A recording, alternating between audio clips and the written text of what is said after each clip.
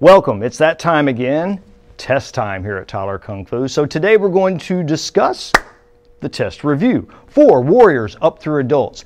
Now let's talk about what is required this time. We have, of course, all the punches, kicks, blocks, all the calisthenics and warm-ups, but we also have blitz number six.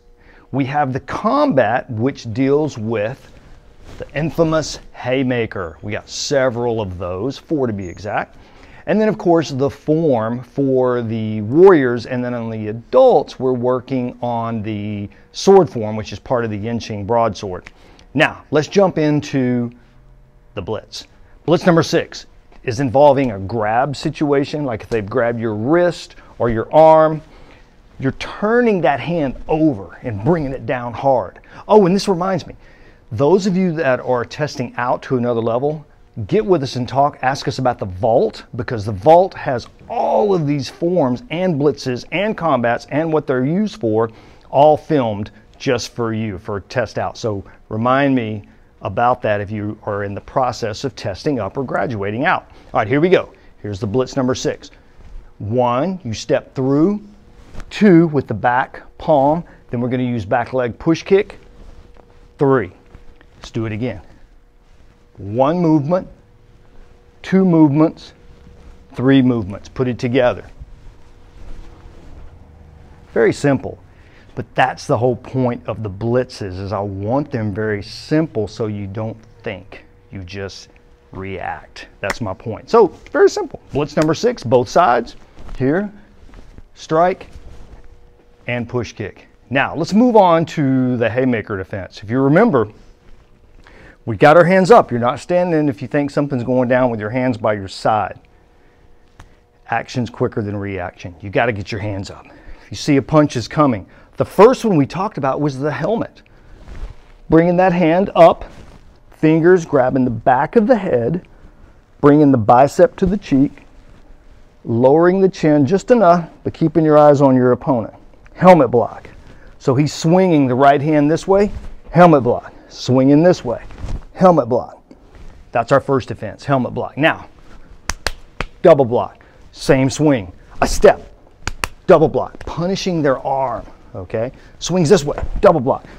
The stance I'm using is the forward stance, all right? If I stand like this, he can knock me over.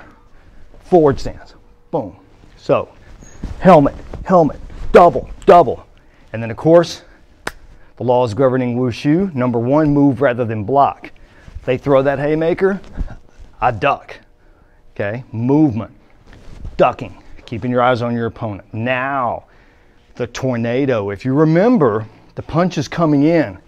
I intercept the arm, step behind them, and then throw.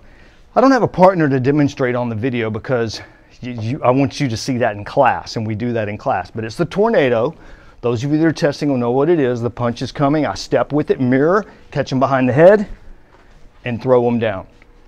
That's it, guys. It's pretty simple as far as the blitz and the combat. Now, if you're a Black Sash student, let's look at the form. For the Warriors, it's dropping horse defense. Okay. Ipe. Bow. And I'm doing it in a closed, pretty closed area, okay? That's what I love about Mantis Kung Fu, close quarter combat.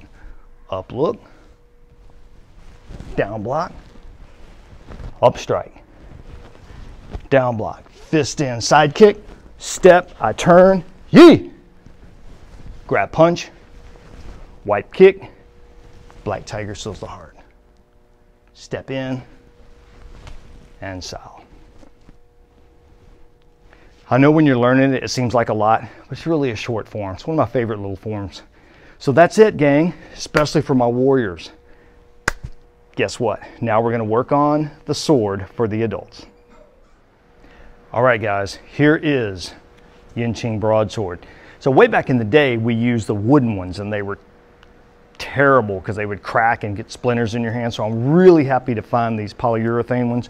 Good for combat and hitting, and they're a nice weight too. So this is Yinqing broadsword, one of the more traditional broadsword sets in the seven stars system.